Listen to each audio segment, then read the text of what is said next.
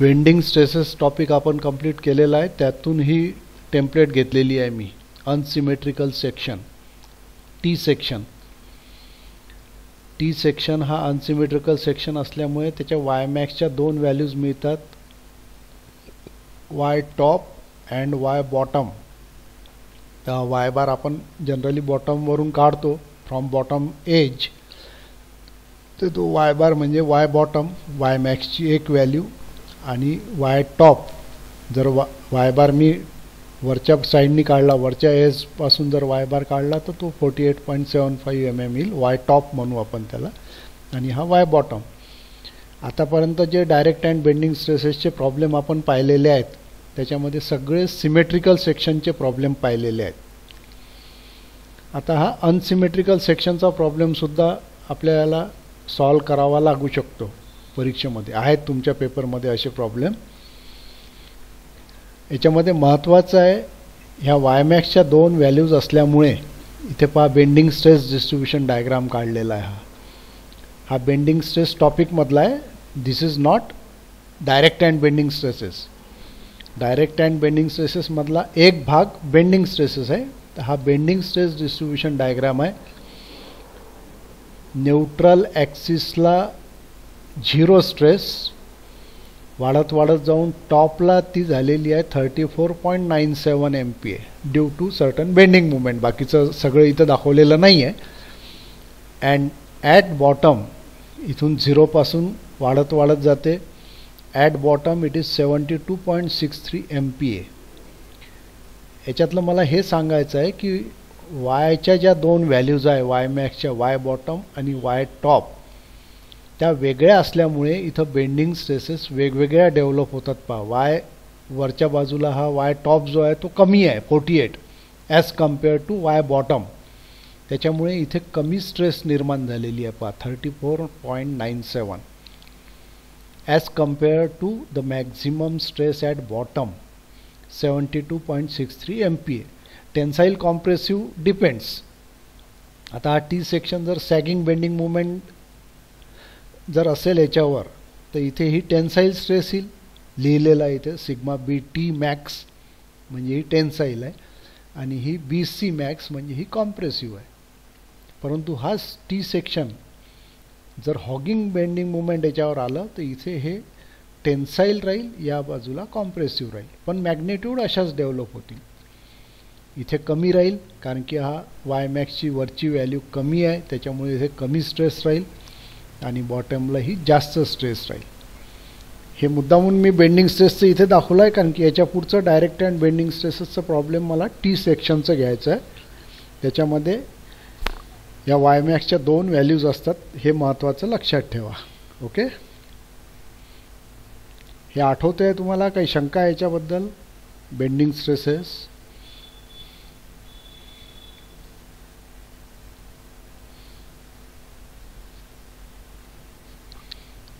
okay.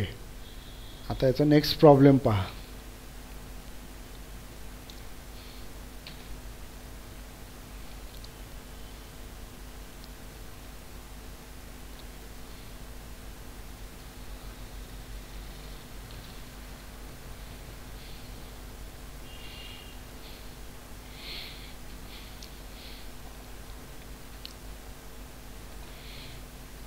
A T section. 100 mm into 100 mm into 10 mm is used as tie member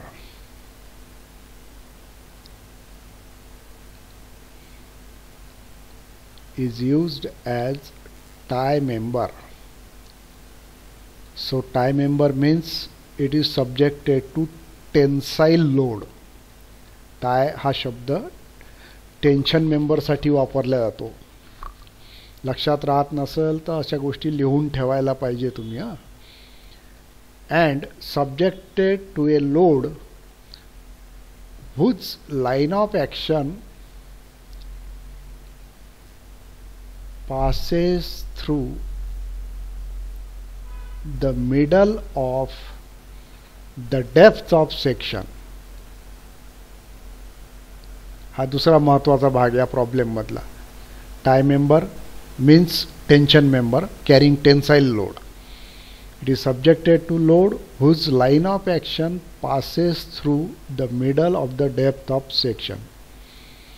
Calculate the magnitude of the load if resultant stress is limited to 20 MPa. आता हे load दिलेलं आहे acting at the middle of the depth middle of the depth म्हणजे T सेक्शनची depth आहे hundred M M म्हणजे ते जे लोड लावलेलं आहे ते ॲक्सिस ऑफ सिमेट्रीवर वरून पन्नास एम एम किंवा खालून मोजलं तर खालूनही पन्नास एम एम म्हणजे बरोबर मधोमध ॲक्सिस ऑफ सिमेट्रीवर लोड लावलेला आहे. आणि दॅट इज टेन्साईल लोड आणि त्याच्यामुळे ज्या स्ट्रेसेस निर्माण होणार आहेत या लोडमुळे तर ती resultant stress is limited to twenty M P A म्हणजे रिझल्टंट स्ट्रेस ही ट्वेंटी एम पी एपेक्षा जास्त जायला नको. थोडक्यात काय? तर sigma max sigma direct plus sigma bending याची जी कॉम्बिनेशनची व्हॅल्यू येते सिग्मा मॅक्स ती ट्वेंटी एम पी एपेक्षा जास्त जायला नको. म्हणजे थोडक्यात तुम्हाला सिग्मा मॅक्सचं फॉर्म्युला वापरायचा आहे to find the magnitude of load आपल्याला काढायचं आहे मॅग्नेट्यूड ऑफ लोड म्हणजे पीची व्हॅल्यू काढायची आहे. सो हा T section hundred M M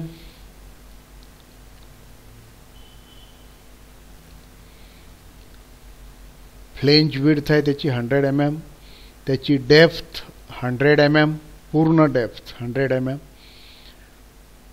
फ्लेंजचा thickness ten M M आणि वेबचा thickness ten M M. Hundred by hundred by ten म्हणजे दोन्ही हे थिकनेस सारखे आहेत. ॲक्च्युली जी मार्केटमध्ये अवेलेबल टी सेक्शन असतात तिथे असं नसते. तिथं हे दोन्ही थिकनेस वेगवेगळे असतात. लक्षात ठेवा. ठीक आहे इथे आपल्या हे प्रॉब्लेमसाठी हा टी सेक्शन घेतला आहे म्हणून ते दोन्ही टेन एम एम दाखवलेले आहेत. तर हाय थिकनेस टेन एम एम आहे हाय थिकनेस टेन एम एम आहे. हे हंड्रेड एम एम आहे. आणि त्यांनी जे म्हटलं आहे line of action of load passes through the middle of depth of section पा इथे हा डार्क पॉईंट दाखवलेला आहे पा इथे. This is the line of action of load on the axis of symmetry and it is at 50 mm from bottom or 50 mm from top. इथे ते load लावलेला आहे. आणि ही सेंट्रॉयडल एक ॲक्सिस आहे वाय ॲक्सिस सेक्शनची आणि ही centroidal X axis centroidal X axis is at Y bar जे की त्यांनी दिलेलं नाही आहे आपल्याला काढावं लागेल वाय बार आता इथे या टी सेक्शनचा सेंट्रॉइड आहे. इथे जर हे लोड लावलेलं असतं बरोबर या पॉईंटवर तर या पूर्ण टी सेक्शनमध्ये फक्त डायरेक्ट स्ट्रेस निर्माण झाली असती किंवा axial stress sigma A is equal to P upon A परंतु लोड हे सेंट्रॉइडपासून काही अंतरावर त्यांनी लावलेलं आहे. सो दिस इज इसेंट्रिसिटी ही इथून इथपर्यंत जी आहे ती इसेंट्रिसिटी आहे. आणि त्याच्यामुळे या टी सेक्शनमध्ये डायरेक्ट स्ट्रेसही निर्माण होईल आणि बेंडिंग स्ट्रेससुद्धा निर्माण होईल ड्यू टू इसेंट्रिसिटी तर आपल्याला तो डायरेक्ट अँड बेंडिंग स्ट्रेसचा फॉर्म्युला वापरून हे प्रॉब्लेम सॉल्व करायचा आहे. त्याच्याकरता स्टेप्स काय राहतील? डायरेक्ट स्ट्रेस काढण्याकरता पी अपॉन ए म्हणजे या पूर्ण सेक्शनचा एरिया लागेल. तो तुम्हाला काढता येतो. हंड्रेड इंटू टेन हा फ्लेनचा एरिया आणि वेबचा एरिया येईल नाईंटी मल्टिप्लाईड बाय टेन कारण की वेब तुमची नाईंटीची आहे. हे पूर्ण डेप्थ हंड्रेड आहे. त्याच्यातून हे दहा गेले. म्हणजे हा ninety M M so ninety into ten M M plus hundred into ten M M असा एकोणीसशे एम एम स्क्वेअर एरिया होतो याचा. म्हणजे डायरेक्ट स्ट्रेस तुम्हाला काढता येईल sigma A is equal to किंवा sigma D is equal to P upon A. त्यानंतर बेंडिंग स्ट्रेस काढण्याकरता तुमचा जो फॉर्म्युला आहे M divided by I multiplied by Y max. तो बेंडिंग स्ट्रेसचा फॉर्म्युला आहे. तर त्याच्याकरता काय लागणार आहे? सगळ्यात पहिले तुम्हाला हा वाय बार काढावा लागेल. त्याच्याशिवाय तुम्हाला आय एक्स काढता येणार नाही मुमेंट ऑफ इनर्शिया तर पहिली स्टेप राहील find Y bar second step राहील find moment of inertia I X आणि त्याच्यानंतर हे प्रॉब्लेम सॉल्व होईल. ओके नेक्स्ट तोच टी सेक्शन पुन्हा दुसऱ्या टेम्पलेटमध्ये दाखवलेला आहे. तिथे फक्त चेंज काय केला आहे मी? हा पीची पोझिशन दाखवलेली आहे. इथं पीची पोझिशन पन्नास एम एमवर आहे. इथे पी राहणार आहे तुमचा या ठिकाणी.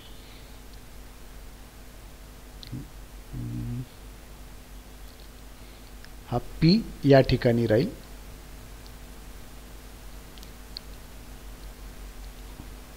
This is the position of P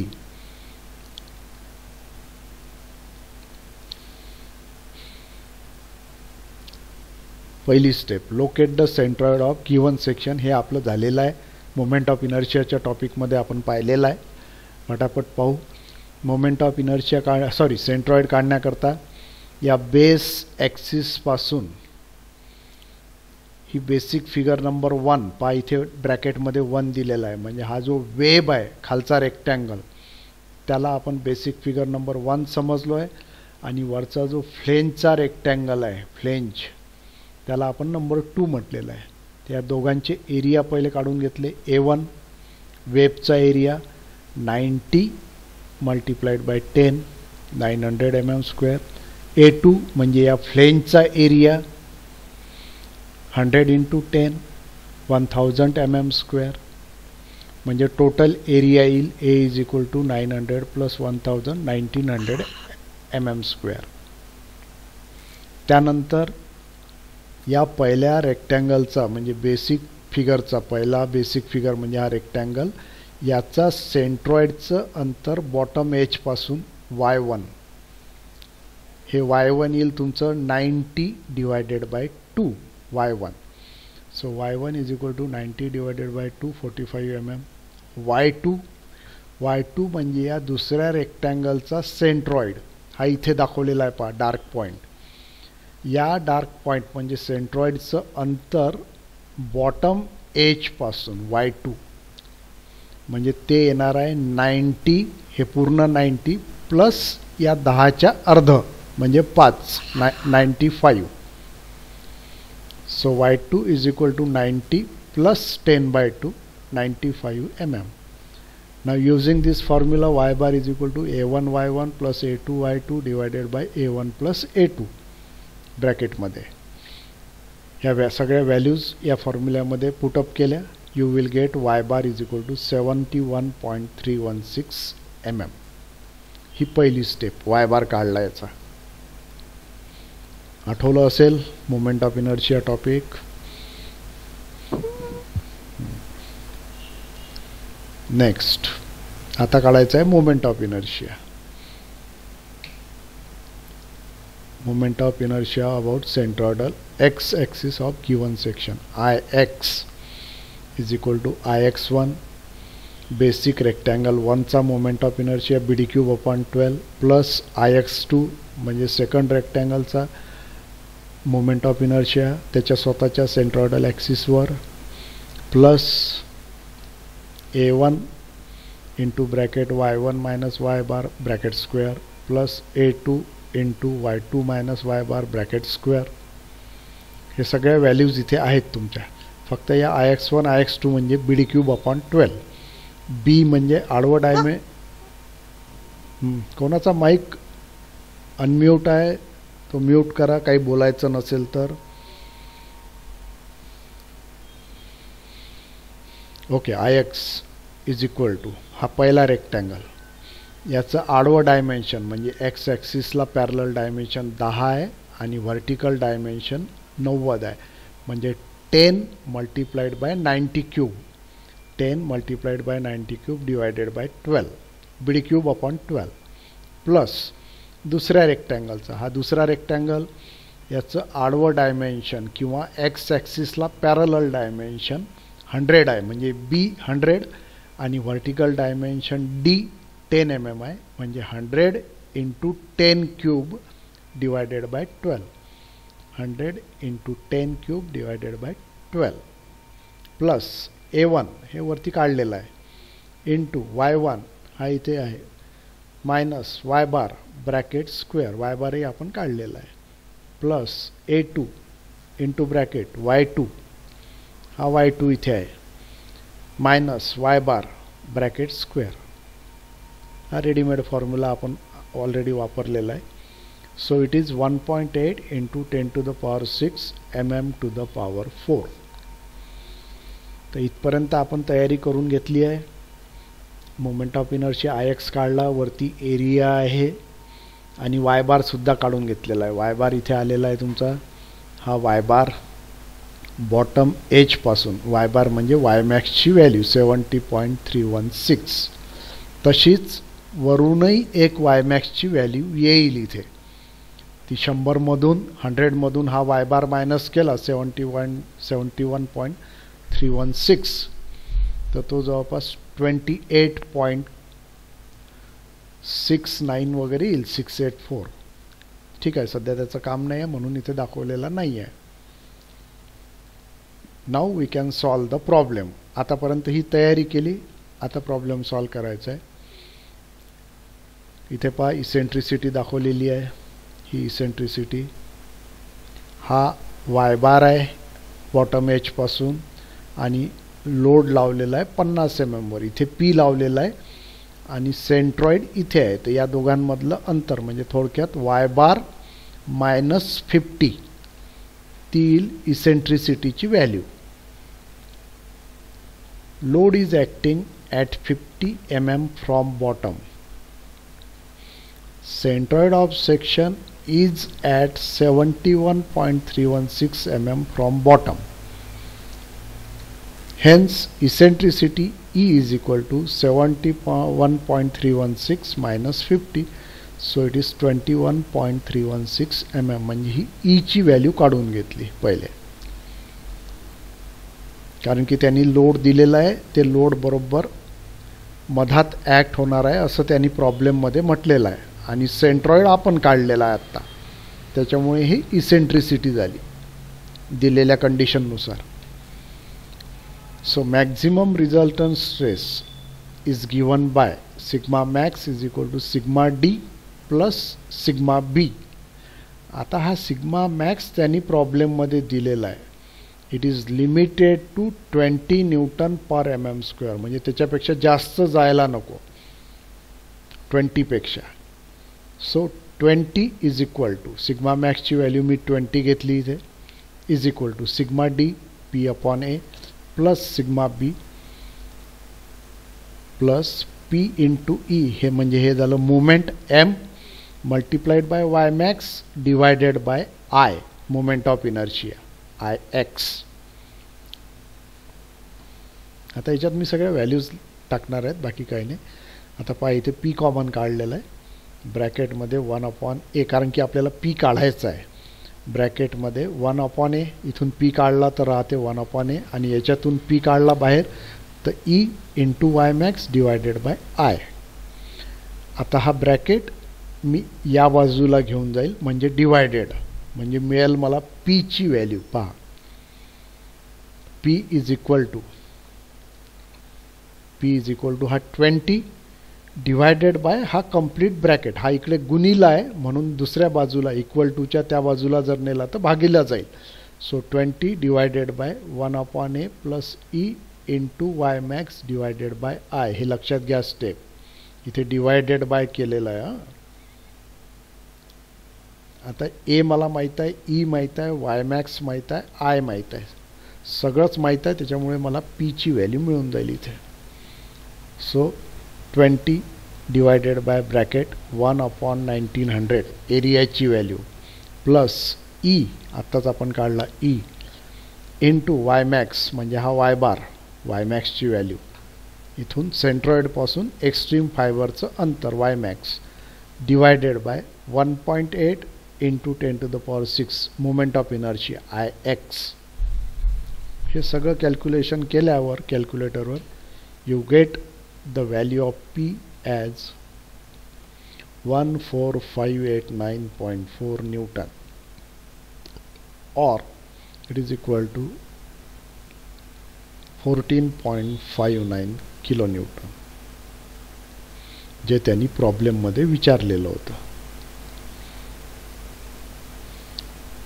असं याचं या प्रॉब्लेमचं सोल्युशन आहे. हे तुमच्या क्वेश्चन पेपरमधून घेतलेलाच प्रॉब्लेम आहे. जुन्या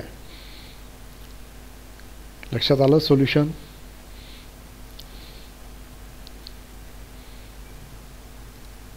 काही अडचण कोणाला?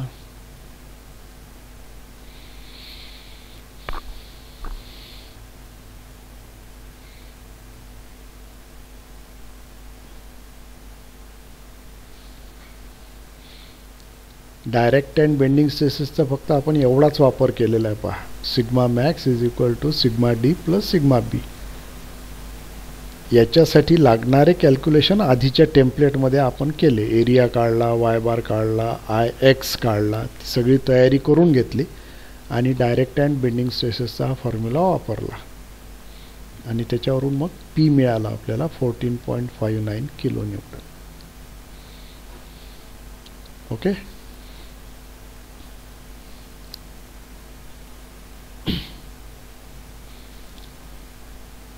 So I'll continue with next problem.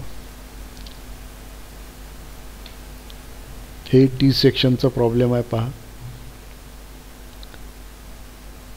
a T section one twenty M M into two hundred M M into twenty M M is subjected to a load of 200 kilonewton at certain eccentricity Along axis of symmetry along axis of symmetry. म्हणजे load axis of सिमेट्रीवरच आहे with certain eccentricity find the maximum eccentricity so as to avoid tension anywhere in section to avoid tension anywhere in section म्हणजे थोडक्यात काय हे जे load लावलेलं आहे टू हंड्रेड किलो न्यूटनचं हे कॉम्प्रेसिव्ह आहे. आणि या कॉम्प्रेसिव्ह लोडमुळे कुठं टेन्साईल स्ट्रेस निर्माण होऊ नये याच्याकरता तुम्हाला e ईची व्हॅल्यू काढायची आहे. फाईंड मॅक्झिमम इसेंट्रिसिटी त्याच्याकरता त्यांनी मुमेंट ऑफ इनर्शिया दिलेला आहे. आपल्याला काढायची गरज नाही आहे या सेक्शनचा टी सेक्शनचा मोमेंट ऑफ इनर्शिया दिलेला आहे. सेंट्रॉईडसुद्धा दिलेला आहे. Centroid is at seventy M M from top म्हणजे वरून जर मोजला तर वाय टॉप इथे वाय बार किंवा वाय टॉप त्यांनी वरून दिलेला आहे.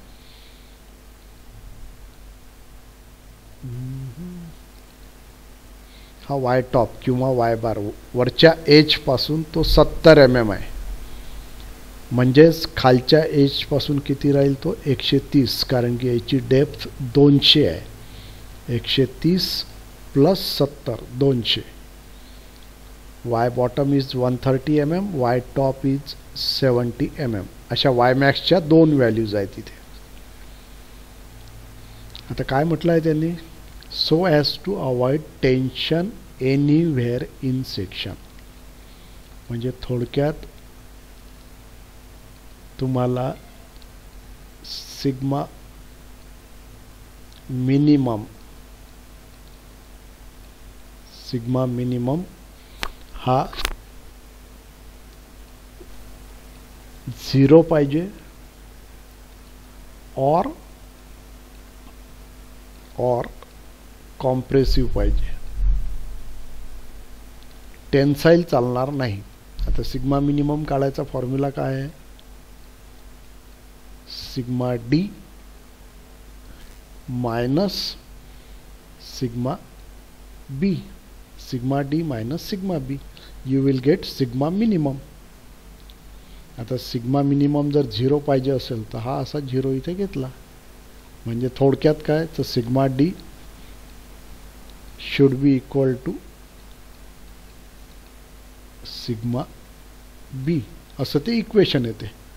Sigma D is equal to sigma B आपण ह्या कंडिशन पाहिलेल्या आहेत सुरुवातीला.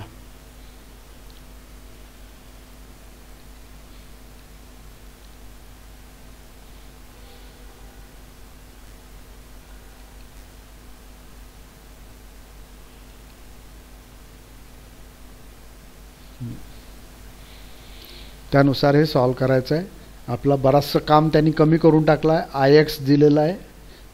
आणि वायबारही दिलेला आहे. त्याच्यामुळे आपलं सोल्युशन सोपं होतं इथे. So to avoid tension to avoid tension sigma D should be greater than or equal to sigma B आत्ता सांगितल्याप्रमाणे. Hence limiting condition is sigma D is equal to sigma B he limiting condition आहे. Sigma D is equal to sigma B sigma D sigma बीपेक्षा मोठा पाहिजे मोठा नसेल तर कमीत कमी इक्वल पाहिजे. हा सिग्मा डी कमी व्हायला नको लेस दॅन नको व्हायला सिग्मा बीपेक्षा म्हणजे टेन्शन कुठेही डेव्हलप होणार नाही. आता या कंडिशनवरून आपण हे प्रॉब्लेम सॉल्व करणार आहे. सिग्मा डीचा formula P upon A is equal to sigma बीचा formula P into E into Y max divided by I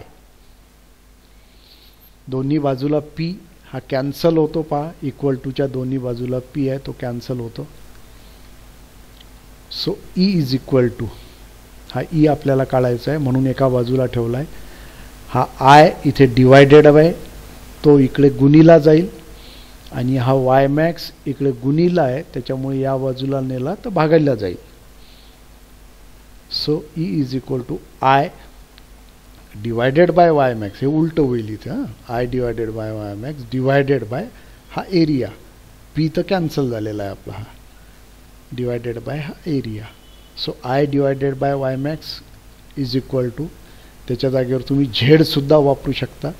Z divided by A तर या प्रॉब्लेममध्ये आपण हा आपला ओरिजिनलच वापरलेला आहे फॉर्म्युला तुम्हाला पाहिजे असेल तर तुम्ही हा फॉर्म्युलासुद्धा वापरू शकता. कारण की I divided by Y max is nothing but section modulus Z तर हा फॉर्म्युला वापरा किंवा हा फॉर्म्युला वापरा? उत्तर सारखंच येईल तर ही ई आपल्याला काढायची आहे मॅक्झिमम ई e या फॉर्म्युल्याने आय त्यांनी दिलेला आहे वाय मॅक्सबद्दल पाहू आपण. आणि एरिया या सेक्शनचा एरिया आपल्याला काढता येते. एकशे वीस गुणीला वीस प्लस एकशे ऐंशी गुणीला वीस. म्हणजे तुम्हाला वाटते तीन हजार एम एम स्क्वेअर येईल तो एरिया. आता पुढे महत्त्वाचं आहे पहा. या स्टेपकडे लक्ष द्या. आता त्यांनी काय म्हटलेलं आहे इथे? Find the maximum eccentricity so as to avoid tension anywhere in section त्यांनी हे दिलेलं आहे. अलॉंग ॲक्सिस ऑफ सिमेट्री म्हणजे पी या ॲक्सिसवर लावलेलं आहे त्यांनी. परंतु हे सांगितलेलं नाही आहे की सेंट्रॉयडल एक्स ॲक्सिसच्या खालच्या बाजूला तो पी आहे की वरच्या बाजूला आहे. हे सांगितलं नाही आहे त्याच्यामुळे आपल्याला दोन्ही बाजूचा विचार करायचा आहे इथे. इकडे लावलं तर काय होईल खाली किंवा वर लावलं तर काय होईल. दोन्हीचा विचार आपण करणार आहे. If load is applied below centroidal axis म्हणजे इथे लावलेलं असेल तर. If load is applied below centroidal axis म्हणजे एक्स ॲक्सिसच्या खाली लावलेलं आहे bending stray tensile stress will be developed at top हे लक्षात घ्या bending tensile stress will be developed at top म्हणजे हे कॉम्प्रेसिव्ह लोड इथे त्यांनी टेन्शन अवॉइड करायचं आहे. म्हणजे हे लोड कॉम्प्रेसिव्ह आहे. तर हे कॉम्प्रेसिव्ह लोड जर इथं लावलं तर इथे मॅक्झिमम कॉम्प्रेसिव्ह स्ट्रेस डेव्हलप होईल. बॉटम एजला आणि टॉप एजला मिनिमम स्ट्रेस निर्माण होईल. तर ती मिनिमम स्ट्रेस आपल्याला टेन्साईल नको आहे. त्याप्रमाणे आपल्याला विचार करायचा आहे. थोडक्यात काय? तर जर लोड इथं वापरलेला असेल तर हा फॉर्म्युला वापरताना किंवा हा फॉर्म्युला वापरताना वाय मॅक्स म्हणजे वाय टॉप घ्यावा लागेल. हे याच्यातली महत्त्वाची स्टेप आहे. पी या बाजूला दिलेला आहे. त्याच्यामुळे बेंडिंगमुळे टेन्साईल स्ट्रेस अपोजिट साईडला येईल. आणि त्याच्यामुळे ती काढण्याकरता आपल्याला वाय टॉप वापरावं लागेल. हा वा बॉटम वापरून चालणार नाही. So tensile stress will be developed at top आणि त्यावरून मग आपण कॅल्क्युलेशन केले E is equal to I हा दिलेलाच आहे. Divided by Y top divided by area हा हाच फॉर्म्युला वापरलेला आहे पहा. Is equal to two point four two into ten to the power seven divided by seventy Y टॉपची value divided by area बरोबर आहे का? मी तीन हजार म्हटलं होतं. नाही बरोबर आहे. एकशे वीस आणि एकशे ऐंशी. म्हणजे तीनशे तीनशे गुणीला वीस म्हणजे सहा हजार. हा एरिया काढून पहा तुम्ही. या दोन्ही रेक्टँगलचा एरियाची बेरीज. It comes out two six thousand तर याच्यावरून इसेंट्रिसिटी काढली. It is equal to fifty seven point six two M M म्हणजे हा पी जर सेंट्रॉयडल ॲक्सिसच्या खाली लावला तर मॅक्झिमम किती अंतरावर लावता येईल? Fifty seven point six two M M इतक्या अंतरावर तो लावता येईल त्याच्याखाली जाता येणार नाही. त्याच्याखाली जर लोड लावलं अजून पुढे नेलं खालच्या बाजूला तर मात्र टेन्साईल स्ट्रेस निर्माण होईल. इथपर्यंत काही प्रॉब्लेम नाही fifty seven point six two M एमपर्यंत fifty सेवनच्या ऐवजी तुम्ही चाळीस एम एम ठेवलं किंवा तीस एम एम ठेवलं तर काही प्रॉब्लेम नाही. कॉम्प्रेसिव्ह स्ट्रेसच निर्माण होईल. कमी जर डिस्टन्स ठेवलं इसेंट्रिसिटी कमी केली तर. परंतु याच्यापेक्षा जास्त इसेंट्रिसिटी यायला नको. So this is the value of E max जर लोड सेंट्रॉयडल ॲक्सिसच्या खाली लावलं असेल तर. आता याच्या उलट. आता हा जो लोड आहे आता मी बदलवला नाही ॲक्च्युली हा वर न्यायला पाहिजे होता इथे. हा लोड ऐवजी इथं न लावता तो या सेंट्रॉडल ॲक्सिसच्या वरच्या बाजूला लावला कुठंतरी इथं. या ठिकाणी जर पी लावला तर मॅक्झिमम स्ट्रेस इकडे निर्माण होईल आणि या बाजूला बेंडिंग टेन्साईल स्ट्रेस येईल. त्याच्यामुळे आता वाय बॉटम वापरावं लागेल. If load is applied above centroidal axis bending tensile stress will be developed at bottom म्हणजे इथे बेंडिंग टेन्साईल स्ट्रेस येईल आणि त्याच्यामुळे हा वाय बॉटम एकशे तीस वापरावा लागेल.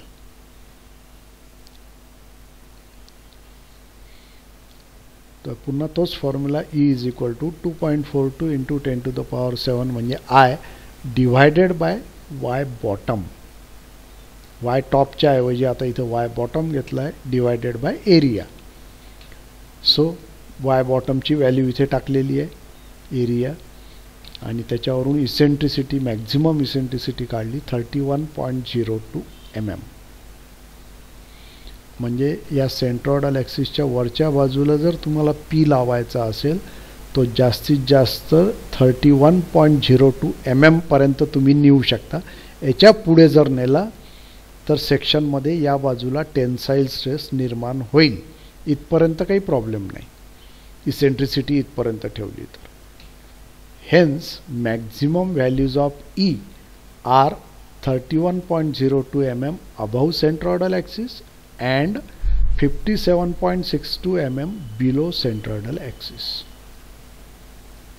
अशा दोन e ईच्या व्हॅल्यू मिळाला तुम्हाला. E max one and E max two ही एक ई मॅक्सची व्हॅल्यू मिळाली इथून इथपर्यंत. This is Emacs. Emacs. आणि ही दुसरी e ईची व्हॅल्यू मिळाली Emacs.